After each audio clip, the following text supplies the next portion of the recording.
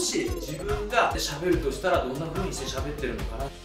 みのチャンネル話し方向上委員会今日も行ってみましょう。今日のテーマは上がり症克服。行ってみたいと思います。なぜかというとですねこんなまたいいとっても勉強になる質問をいただきました。会議の場などで人前で話す時にすごく上がってしまい自分の考えをうまく伝えることができません。人前でも堂々と話せるメンタルを身につけたいと思っております。どうしたらいいでしょうか？という質問でした。ありがとうございます。上がり症を改善するこうメンタルですね、まあ、我々上がり症改善セミナーだけで多分5000回以上は全国でやってますので何かお伝えをできると思うんです。で今日の動画はですね緊張しやすい方とか上がり症の方が身につけるべきメンタルここに特化をしてお伝えをしてまいります。今日のお話聞いていただくと会議で発言するとかね社内で発表しなきゃいけないとか研修社内で講師をするとか、まあ、人前で喋る時ですよね。こういった時に自信を持って喋れるメンタルが身につくそんな方法をお伝えをしてまいります。こちらのチャンネルはこういった上がり症の改善とかね説明力とか人前での話し方伝わる話し方特化をしてお届けをしております。ぜひチャンネル登録をしていただいてこれからも一緒に皆さんと伝わる話し方学んでまいりたいと思います。またコメントなどもですね随時お待ちしております。今後の動画あの題材にさせていただきますのでよろしくお願いします。ででは早速中身に入りましょう。さあ今日は緊張しやすい方上がり症の方向けにメンタルどのようにして整えていくべきかというテーマでございます。それはそうですよね。人前で立った時にドキドキする緊張するこの状態をどうやったらリラックスしてパフォーマンスが出せるようになっていくかということでございます。まず一番最初にですねメンタルとは何ぞやと。ここだけ少し触れて中身に入っていきたいと思います。メンタルよく聞きますよね。強いメンタルが欲しいとか動じないメンタルとかね。鋼のメンタルとかよく言われるんですがじゃあメンタルって何なのと。これ検索していただくと簡単に言えばですね精神状態って出てくる。精神の状態。まあ心の模様ですね。どんな気分？状態であるかと。いうこと。さあそうするとですねメンタルは精神状態。なんとなく分かりますよね。精神状態の話をすると大体こういう例題を出される方いらっしゃるんです例えば 50m の幅のラインがここに引いてあります。でこの幅を歩きます。ねはみ出ないように歩くと。まあ普通に歩けそうですよね。まあ別に後ろからでもこうやって歩けそうですよね。こうやってね。じゃあこの 50m 幅が超高層ビルのここについていたらどうでしょうかと。歩くとしたらめちゃめちゃドキドキしませんかと。それはそうですよね。落ちるかもしれないですもんね。この例題でよく言われることっていうのが今地上に5 0センチの幅があったら余裕で歩けますよねとでも地上高層ビルのこんなところに50幅を引いてあってこうやって歩かなきゃいけないみたいになると恐怖を感じますよね。でも 50m 幅を歩く能力自体はあるんですよと。だから落ちたらどうしようとか失敗を考えてはいけません。歩ける能力はあるんですから堂々と歩いてくださいって言われることがあるんです。さあ皆さんどう思いますか？そんなわけないですよね。50m 幅を歩こうと思ったらそれは怖いですよ。誰もが。能力があったとしても状況が全く違うので心の状態がねすぐにちょっと恐れちゃいかんと整えられるかってまあそんなことはないわけです。なぜかといえば人間っていうのはこの恐怖を感じるっていうのはものすごい大事な能力で例えば犬にねガブッと噛まれてねこれ恐怖だってならないとまた平気で犬に対して指を立ててガブって毎回ガブって噛まれるみたいな。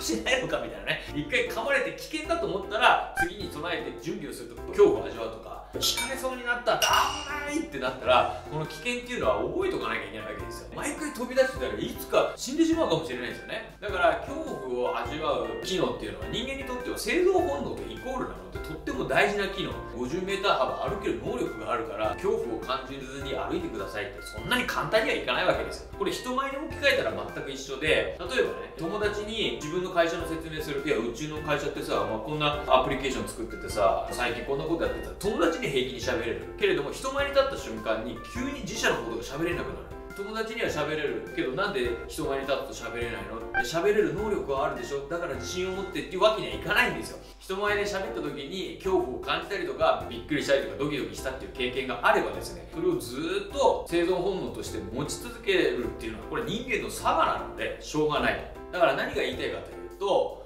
心の状態をね急に変えましょうなんていうのは難しいですよということ。メンタルをすぐに変えようと。これはね舐めてはいけないと。防衛本能と紐づいてますから能力があるからすぐに話せるんですよ実は。っていうわけにはいきませんよってことがお伝えしたかったことなんです。じゃあメンタル心の状態ですね。人前に立った時のこのドキドキ変えれないのかっていうとそんなことはないんです。変えれる方法がある。それは何かというとトレーニングで変えることができます。何だってそうなんです。ゴルフでもいいです。最初は何もできないけれどもトレーニングを積み重ねればできるようになってくる。ピアノなんかもそうですよ。5歳の女の子。最初ピアノ弾けないと思いますよ。けれども5歳の女の子だってトレーニングをすれば発表会で弾けるようになる。これ人前でも全く一緒ですぐにパキッて精神状態は変わらないかもしれないけれどもトレーニングを積むことによって人前に立った時の精神状態を変えることができる。ドキドらリラックス、えもしくは、まあ、そんなビビることはないなっていうね。お友達に自社の商品を説明するかのごとく人前で喋れるかもしれないなっていうふうに変えることだってトレーニングによってできる。ということなんです。これ前職ですね。私あのボイストレーニングのスクールに勤めてました。でよくね歌われる方とかちょっと悩んでるんですっていう方も来られてたんですよ。でも音痴だって悩んでらっしゃる方もトレーニング練習したら必ずねちゃんと歌えるようになるんですよ。音程が取れないっていう方にね。じゃあ音程をちょっと取っていきましょうなんて言ってラララミミレドドシドレドシラララミミレドってこうやってやってくるとね世界に一つだけのってこう歌えるようになってくるんですこれリズムを体に取っていくとだんだんと入ってくる。これはトレーニングによる技なんですよね。じゃあちょっと人前で話す緊張ということに話を戻しますねそうするとじゃあどうやってトレーニングを積んでいけばいいかってそんな難しくないんですポイントをお伝えしますまず大事なポイントはですね周りを巻き込むということあんまりね、一人でこの人前で緊張するとかトレーニングって積まない方がいいと思います。なんでかというと、面白くがない。面白くがない。おかしいですね。面白くない。周りの方を巻き込んだ方がいい。一緒にやった方がいい。で、どうやって巻き込むの？ってこれ3つお伝えをします。まず1つ、友達同僚に話す。例えば人前で今度話すんだとかねプレゼンがあるんだってことがあれば友達とか同僚とかちょっとちょっと聞いてくんないと。ちょっと練習をしてみるってことなんです。これはアドバンストレーニングといってアドバンスっていうのは事前ということですけども事前にトレーニング友達にも手伝ってもらって話を聞いてもらうアドバンストレーニングをやってみましょうということ。2つ目誰かの話を聞く。これもものすごいトレーニングになります。何か講演に参加するとかセミナーに参加するでもいいし動画を見るでもいいんです。で何をしてるかっていうと別に自分が喋ってるわけじゃないんですけれども喋ってる人に対してもし自分が今あの立場で喋るとしたらどんな風にして喋ってるのかなっていうことを想像するわけです。これを何て言うかというと疑似体験と言います。毎回いっぱい自分がいろんなとこ出て喋る機会もそんなにないかもしれないけれどもあの人の今立場に立ったら自分ってどんな精神状態で喋ってるのかなっていうのを空想の中で経験をしてみるということ。この疑似体験っていうのもトレーニングの一つになります。で3つ目話す場に参加してみる、まあ、これはいろんな参加の仕方あると思います、まあ、我々のセミナーもありますしセミナーじゃなくてもコミュニティだってあるんですよ。雑談をしまくる。コミュニティとかね人前で話す練習する。コミュニティとか。今もうコミュニティとかオンラインサロンとか山ほどありますからそういったところに参加をして実際喋ってみるっていうトレーニングを積んでいくっていうことです。緊張しないですね。上がり症克服に向けたメンタリティってどういう風にして整えていけばいいの？ドキドキするよね。これをリラックスしたり落ち着いたり自信を持っていくっていう精神状態に変えるには何か。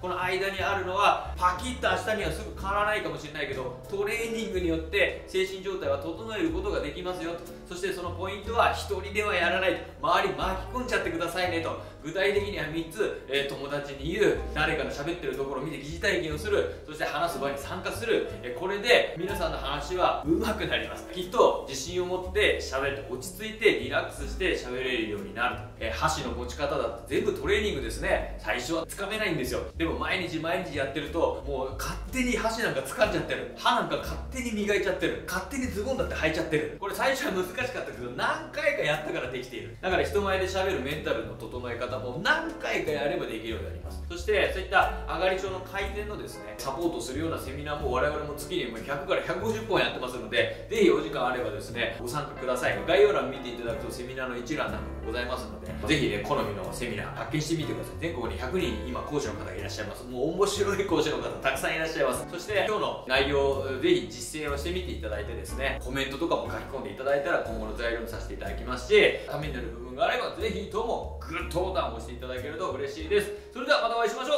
じゃあ